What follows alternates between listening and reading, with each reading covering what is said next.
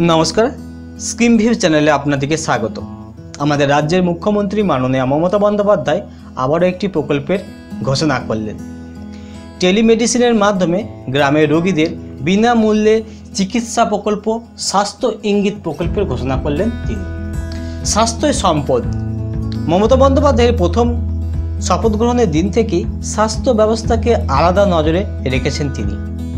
জেলায় জেলায় হাসপাতাল পরিকাঠামো উন্নয়নের পাশাপাশি জেলা সদর থেকে গ্রামের স্বাস্থ্যকেন্দ্র ঢেলে সাজানোর উদ্যোগ নিয়েছিলেন। এবারে প্রত্যন্ত গ্রামেও বিশেষজ্ঞ চিকিৎসকদের পরামর্শ পৌঁছে দিতে স্বাস্থ্য ইঙ্গিত নামে একটি নতুন প্রকল্পের উদ্বোধন করলেন তিনি। নতুন এই প্রকল্পটিকে রাজ্যের টেলিমেডিসিনে অন্তর্ভুক্ত করা হলো। সোমবার নেতাজি ইন্ডোর স্টেডিয়ামে খেলা হবে প্রকল্পের উদ্বোধনী অনুষ্ঠানে গিয়ে এই প্রকল্পের ঘোষণা করেন রাজ্যের স্বাস্থ্যমন্ত্রী তথা মুখ্যমন্ত্রী। এই প্রকল্প রূপায়ণের ফলে প্রত্যন্ত গ্রামের রোগীদেরও সম্পূর্ণ বিনামূল্যে পরিষেবা পাবেন। রাজ্যের গ্রামাঞ্চলে যেসব স্বাস্থ্যকেন্দ্র রয়েছে, সেখান থেকেই টেলিমেডিসিনের এই প্রকল্প রূপায়িত হবে। বিশেষজ্ঞ চিকিৎসকদের পরামর্শ পাবেন যে কোনো রোগী বা রোগীর পরিবার। তা এই টেলিমেডিসিন বিষয়টি আসলে কি? তা আমরা এই ভিডিওতে বিস্তারিত জানব। তাহলে ভিডিওটি অবশ্যই প্রথম থেকে শেষ পর্যন্ত দেখুন। আর ভালো লাগলে লাইক করে দেবেন।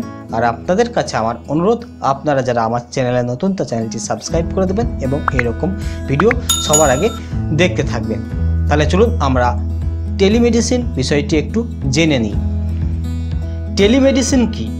না, এটা একরকম ভিডিও কলের মাধ্যমে ডাক্তারবাবুদের সাথে যোগাযোগ স্থাপন করা। অর্থাৎ ভিডিও কলের সাহায্যে আপনি চিকিৎসা করাতে পারবেন কোনো বিশেষজ্ঞ ডাক্তারদের কাছে।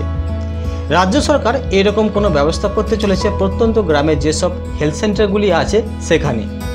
এবং সেখানে ভিডিও কনফারেন্সের মাধ্যমে বড় বড় হসপিটালগুলির সাথে যোগাযোগ স্থাপন করবেন অনলাইনের মাধ্যমে। এবং সেখানকার ডাক্তারবাবুরা অনলাইনে রোগীও দেখবেন। এক্ষেত্রে অনেক সুবিধা পাওয়া যাবে, যেমন প্রত্যন্ত গ্রামের মানুষকে সাধারণ চিকিৎসার জন্য আর দূরের বড় কোনো হসপিটালে যেতে হবে না, তাতে যেমন সময় বাঁচবে, তেমন অর্থও বাঁচবে। এই করোনা পরিস্থিতিতে সবথেকে গুরুত্বপূর্ণ যে বিষয়টি হলো, একসঙ্গে অনেক রুগী থাকবে না। অর্থাৎ যেহেতু সে বাড়ি থেকেই অনলাইনের মাধ্যমে চিকিৎসা করাবে, তাই সংক্রমণের ভয় কিন্তু থাকছে না। অনলাইনে ডাক্তারবাবুরা প্রেসক্রাইব করবেন এবং আপনি ওষুধের দোকান থেকে ওষুধ কিনে নিতে পারবেন।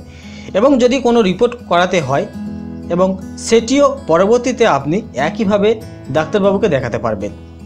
এই ব্যবস্থায় যেটি অসুবিধা হয়, সেটি হলো সরাসরি ডাক্তারবাবুরা যে চেক করেন, সেটা কিন্তু থাকবে না।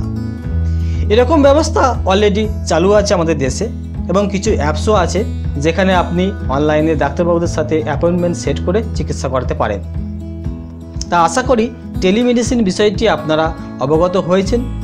ভিডিওটি ভালো লাগলে অবশ্যই লাইক এবং শেয়ার করবেন। তা আজকের ভিডিও আপাতত এখান পর্যন্তই। সকলে ভালো থাকবেন। নমস্কার।